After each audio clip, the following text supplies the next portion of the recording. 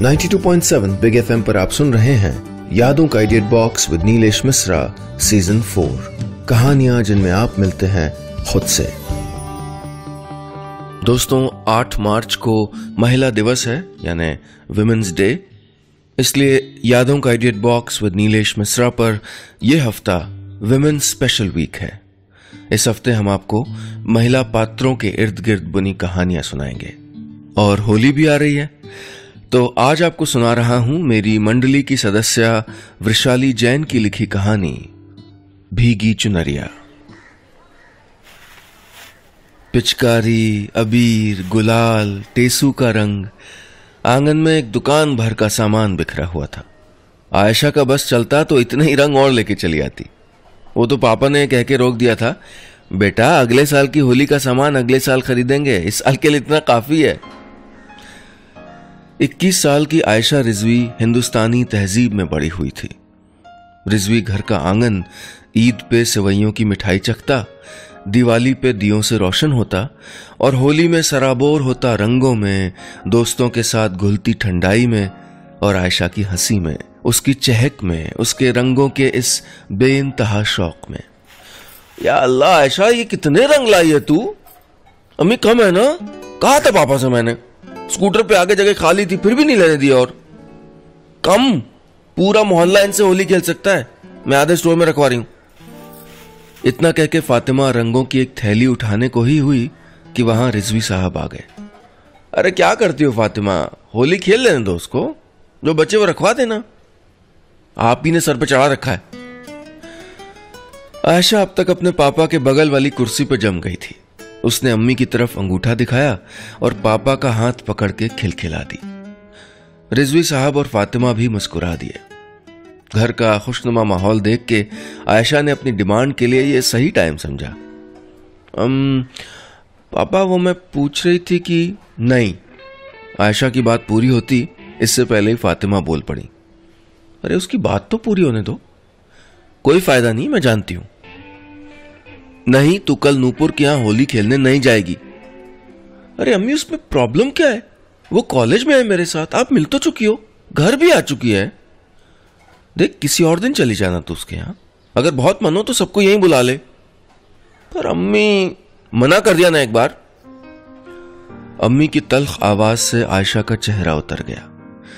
College के सारे दोस्त नूपुर के यहाँ होली खेलने जा रहे थे। नूपुर की सोसाइटी में सब साथ में ही होली खेलते थे। पापा के दोस्तों और उनके परिवारों के साथ होली हमेशा बहुत रंगीन होती थी, लेकिन आयशा इस बार नए दोस्त, नए रंग देखना चाहती थी।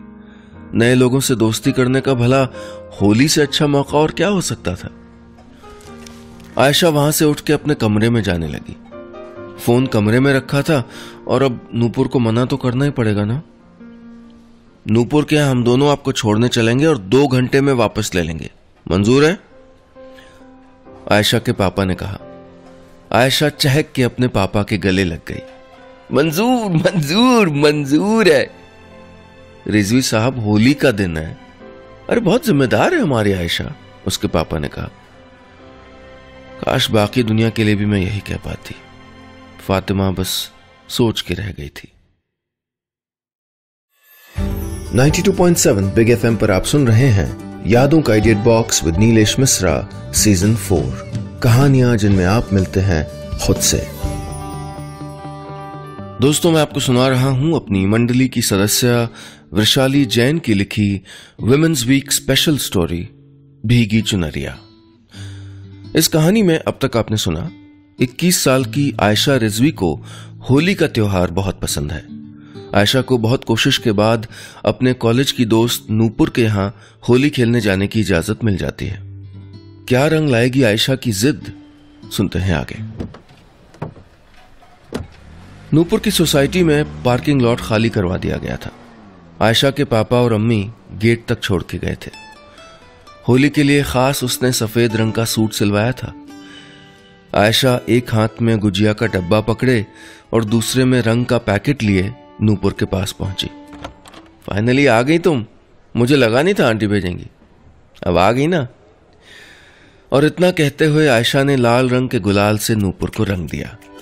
कॉलेज के दोस्त, आपस का हँसी मज़ाक और हवा में उड़ता अबीर गुलाल त्योहार की खुशियाँ अपने आप ही बयान कर रहा था। कभी आयशा नूपुर के पीछे रंग लेके दौड़ती, कभी पूरी टोली उसी को पकड़ के रंग डालती। जब आयशा ने ठंडाई पीते दोस्तों पे पिचकारी से हमला बोल दिया तो सबने अपनी अपनी ठंडाई छोड़ के आयशा को ही उठा के रंग वाले पानी के ड्रम में पटक दिया। अब मैडम को शांति हो जाएगी। आयशा के दोस्त अमन की बात अभी पूरी भी नहीं हुई थी कि आयशा ने उसका हाथ पकड़ के उसको भी ड्रम में खींच लिया। चारों तरफ़ हँसी के ठहाके गूंज रहे थे। ये आयशा की अब तक की सबसे अच्छी होली थी। होली की मौज मस्ती में पता ही नहीं चला कि कब दो घंटे भी हो गए। गेट पे पापा का इंतज़ार करती आयशा दोस्तों के साथ होली वाली सेल्फी खींच रही थी। थोड़ी और देर रुक जाती आयशा, कितना मज़ा आ रहा है। आयशा का सफ़ेद रंग का सूट न जाने अब कितने रंगों का हो गया था। उसके दुपट्टे से पानी अब भी टपक रहा था। वो दुपट्टे का कोना निचोड़ते हुए बोली, हालत देखिए मेरी। अम्मी ने आने दिया, वही बहुत है। थैंक यू सो मच हाँ। ये मेरी बेस्ट होली थी। इतनी कार्टून लग रही है। एक तो सिंगल फ़ोटो बनती है। अमन ने हँसते हुए कहा और आयशा पोज बना के खड़ी हो गई। अचानक पीछे से दो तेज़ी से आती बाइक्स उसके बिल्कुल करीब से निकल गई। जब चलानी नहीं आती तो बाइक क्यों लेते हैं ये लोग? जाने देना। होली पे हुड़दंग मचता ही है। चल पोज दे। इतना कह के नूपुर अंदर की ओर चल दी। आयशा अभी मुस्कुराई ही थी कि वो मोटरसाइकिलें वापस आ गईं और इस बार वो केवल करीब से निकली ही नहीं, उन बाइक सवारों ने आयशा का दुपट्टा खींच लिया था। बाइक चलानी आती है, मैडम।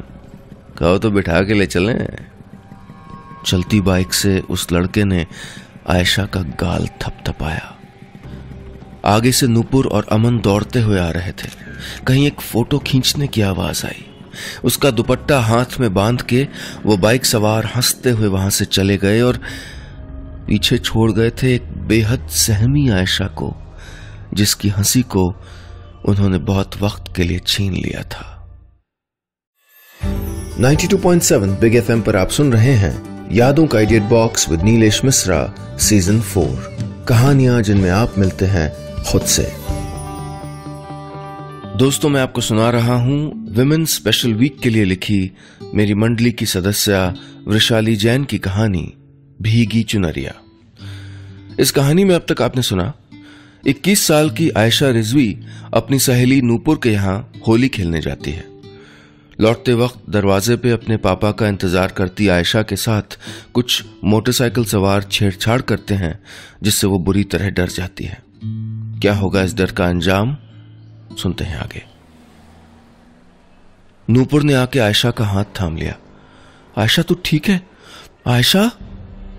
नूपुर? सिसक पड़ी थी आयशा। आज तक अम्मी ने भी कभी उस पर हाथ नहीं उठाया था। पापा ने तो डांटा तक नहीं था।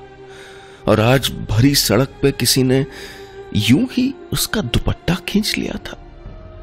भीगे दुपट्टे के खींचने से आयशा की गर्दन पे एक लाल खरोंच साफ़ उभर रही थी। आयशा के कांपते हाथों को थामे नूपुर उसको अंदर ले जाने लगी। तभी वहाँ एक गाड़ी आके रुकी। सॉरी सॉरी सॉरी बेटा, हम लेट हो गए। गाड़ी से उतरते हुए रिजवी साहब बोले। आयशा ने उनको देखा तक नहीं। वो दौड़ के अपनी अम्मी के गले लग गई। अम्मी, वो सुबकती रही। इसके आगे कुछ नहीं कह पाई आयशा। फातिमा और रिजवी साहब का दिल बैठ गया। त्योहार का लाल रंग चिंता से स्याह हो गया था। आशी, बेटा देख मेरी तरफ़, अम्मी को बता क्या हुआ? फातिमा लाख कोशिश करती रही, पर आयशा सिर्फ़ उनसे चिपकी रोए जा रही थी। नुपुर, किसी ने कुछ कहा है बेटा कैसे हम तो बस फ़ोटोज़ खींच रहे थे, अंकल। नूपुर ने अटकते, रुकते सारी बात बताई। फातिमा और रिजवी साहब के होश उड़ गए थे। मासूम सी उनकी बच्ची और दहशत का ऐसा वाकया। अखबारों में छपती ऐसी खबरों को दरकिनार कर देने वाले रिजवी साहब की अपनी बच्ची आज खबर बन गई थी। घाट का यहाँ का? इतने लापरवाह कैसे हो गए तुम्हारी सोसाइटी वाले? रिजवी साहब नूपुर पे ही बरस पड़े। रिजवी साहब, अभी सबका वक्त नहीं है। बच्ची को घर ले चलिए। नूपुर, हम आपके पापा से बात करने आएँगे। अम्मी ने घर पे ठंडाई शरबत की तैयारी करी हुई थी। सोचा था शाम को सब दोस्तों को बुलाएँगी। आखिर आयशा का फेवरेट त्योहार था। घर का आँगन भी तो गुलाल अबीर से कहाँ भीगा था अभी। पर जिस हालत में आयशा घर आई थी, किसी को बुलाना तो दूर, अभी तो खुद की भी सुध नहीं थी। सुबकियाँ थीं कि रुकती भी नहीं थी। फातिमा रोती हुई आयशा को अंदर शांत कराने में लगी हुई थी। आशी बस कर बेटा। देख, अब तो तू हमारे पास है ना?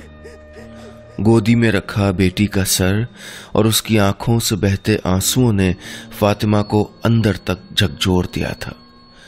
उनकी बेटी का त्योहार सिर्फ़ इसलिए खराब हुआ क्योंकि वो बेटी है। लड़की होना क्या गुनाह है? त्योहार क्या यूँ किसी की खुशियाँ छीन के मनाया जाता है? होली तो गुलाल में मिला के खुशियों को हवा में बिखेरने का त्योहार है ना? फिर उसी गुलाल से चेहरा ढक के किसी ने क्यों हंसती खिलखिलाती आयशा को गुमसुम कर दिया था? उन्हें अपनी बच्ची की यह मायूसी दूर करनी ही थी। रोने की भी अपनी मियाद होती है। अम्मी की गोदी में सर रखे आयशा रोते रोते सो गई थी। फातिमा बाहर आई तो रिजवी साहब आँगन में कुर्सी पे बैठे थे। सर पीछे टिकाया हुआ था और आँखें बंद थीं। चाय लेंगे? तुम्हें चाय की सूझ रही है? यहाँ बच्ची के साथ? चाय पी लीजिए, फिर नूपुर के यहाँ चलते हैं। हम बात को यूँ छोड़ तो नहीं सकते ना। खबरदार जो इस बात का कहीं ज़िक्र भी हुआ तो जो हुआ सो हुआ, बच्ची को संभालिए, बस। रिजवी साहब, आप ऐसा कह रहे हैं?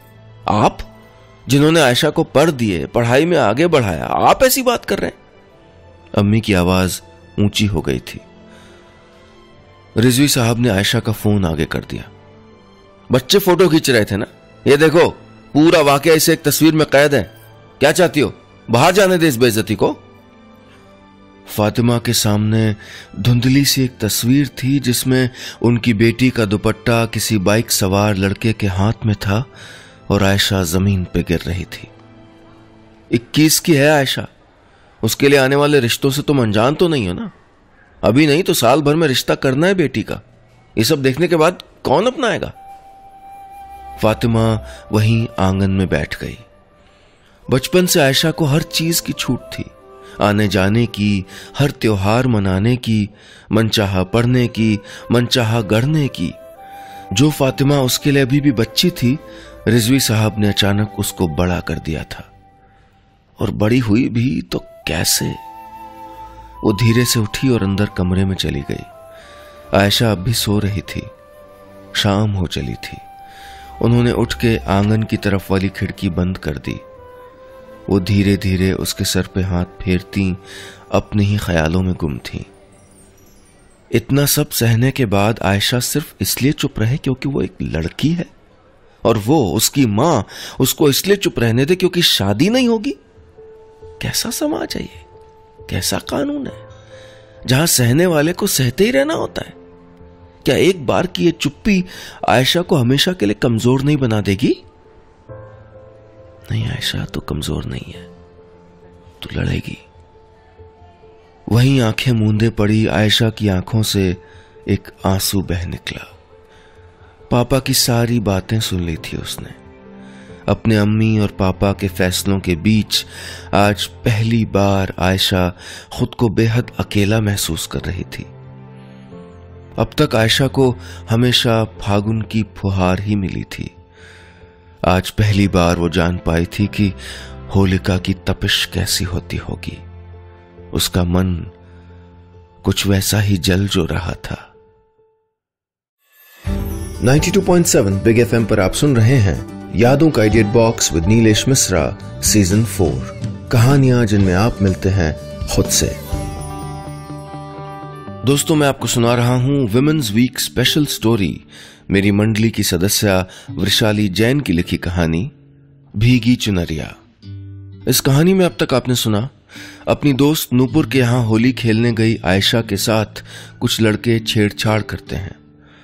आयशा के पापा चाहते हैं कि बात आगे न बढ़ाई जाए, लेकिन उसकी मम्मी उसको इंसाफ दिलाना चाहती हैं। क्या होगा आयशा का फैसला? सुनते हैं आगे।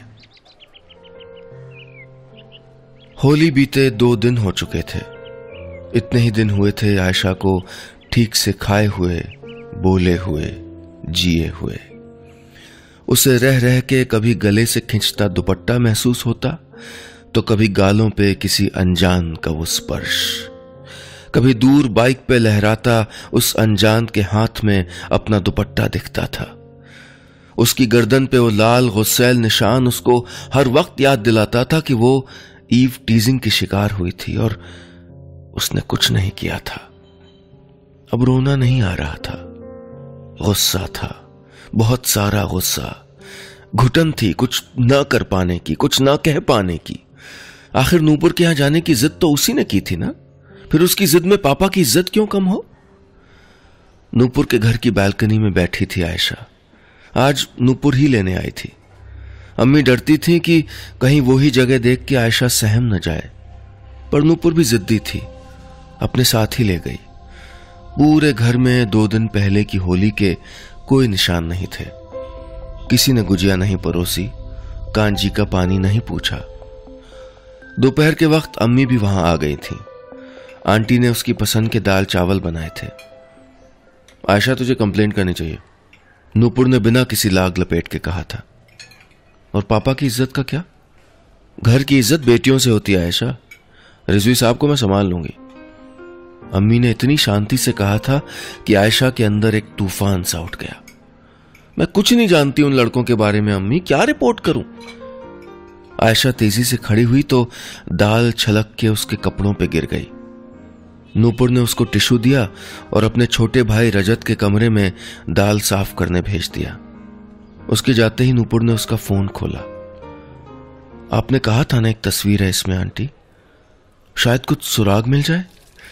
उधर दाल साफ़ करने के बाद आयशा ने टिश्यू डस्टबिन में फेंका, लेकिन वो बाहर गिर गया। आयशा टिश्यू उठाने को झुकी, लेकिन सिंक के नीचे उसको कुछ ऐसा दिखा कि वो खौफ से वहीं जम गई। बाहर से आती आवाज़ें उस तक पहुँची ही नहीं। आंटी, धुंधला सा एक नंबर है बाइक का। नोट करिए। फोर, सिक्स, नहीं नहीं, five. Four five four five six हाँ फोर फाइव सिक्स टू। तस्वीर को जूम करके नंबर बताती नुपुर अचानक शांत हो गई। वो भाग के रजत के कमरे में गई तो आयशा को सिंक के पास हाथ में होली के रंगों में भीगा दुपट्टा लिए बैठा पाया। आयशा का अपना दुपट्टा। मैं जान गई हूँ कौन थे वो लड़के नूपुर। मुझे कंप्लेंट करनी है। नूपुर भी उस बाइक का नंबर पहचान गई थी। वो बाइक उसके सत्रह साल के भाई रजत की थी। 92.7 बिग एफएम पर आप सुन रहे हैं यादों का idiot box with Nilesh Mishra season four कहानियाँ जिनमें आप मिलते हैं खुद से। दोस्तों, ये है विमेन स्पेशल वीक और मैं आपको सुना रहा हूँ अपनी मंडली की सदस्य वृशाली जैन की लिखी कहानी, भीगी चुनरिया। इस कहानी में अब तक आपने सुना, आयशा अपनी सहेली नूपुर के यहाँ होली खेलने जाती है, लेकिन वहाँ उसके साथ कुछ लड़के छेड़छाड़ कर देते हैं। उसके पिता मामला दबा देना चाहते हैं, लेकिन उसकी दोस्त नूपुर और उसकी अम्मी आयशा को कंप्लेंट करने का हौसला देते हैं। आयशा को नूपुर के घर पता चलता है कि वो लड़का नूपुर का छोटा भाई रजत और उसके दोस्त थे। क्या करेगी आयशा अब? सुनते हैं आगे।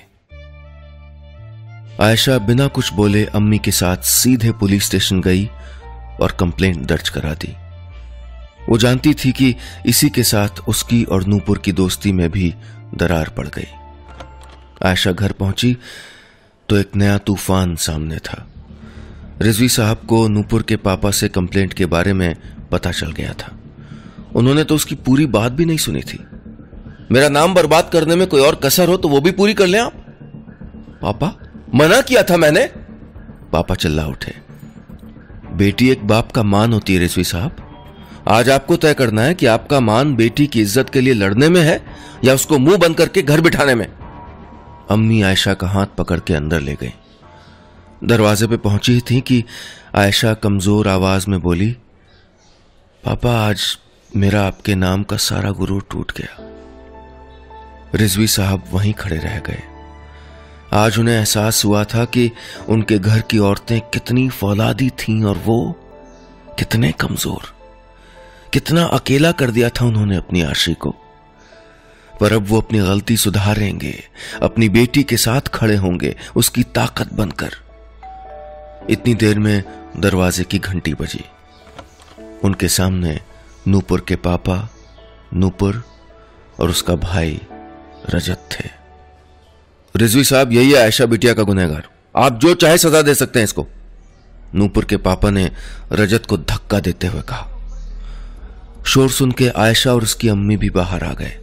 कोई कुछ कहता, इससे पहले आयशा रजत के सामने गई और उसको अपना दुपट्टा देते हुए बोली, लो अब इसे उड़ाओ हवा में। खड़े क्यों? आज बाइक पे लेके नहीं चलोगे? अंदर का सारा दर्द आँखों से बह रहा था। वो आँखें जो गुस्से से लाल थीं। वो नहीं रजत, ये दुपट्टा उड़ाओ। नूपुर के हाथ में उसका अपना दुपट्टा था, जिसका कोना नूपुर के आंसुओं से भीगा हुआ था। रजत फपक फपक के रो पड़ा। आज वो अपनी बहन के सामने हमेशा के लिए गिर गया था। रजत की एक गलती ने आज उसके परिवार को बहुत लंबे वक्त के लिए बिखेर दिया था और आयशा के जहन में कभी न मिटने वाले दाग छोड़ दिए थे। रजत माफ़ी मांगना चाहता था, पर अब बहुत देर हो चुकी थी। उसने पुलिस को अपने सारे दोस्तों के नाम बताए। सबको काउंसलिंग करवाने का आदेश हुआ। ताकि इस कच्ची उम्र में उनका भविष्य न खराब हो और वो सुधर जाए। उस साल की होली ने आयशा को ज़िंदगी के बहुत से रंग एक साथ दिखाए थे। उसे डर के स्याह अंधेरे मिले थे तो हिम्मत की सुनहरी किरण भी साथ मिली थी। इन्हीं रंगों में रंगी एक भीगी चुनरिया ने नूपुर और उसकी दोस्ती को उम्र भर के लिए बाँध दिया था। रजत के लिए सलामती की दुआ मांग के आयशा नूपुर को घर ले गई थी। बस इतनी सी थी ये कहानी। 92.7 बिग एफएम पर आप सुन रहे हैं यादों का idiot box with Nilesh Mishra season four कहानियाँ जिनमें आप मिलते हैं खुद से।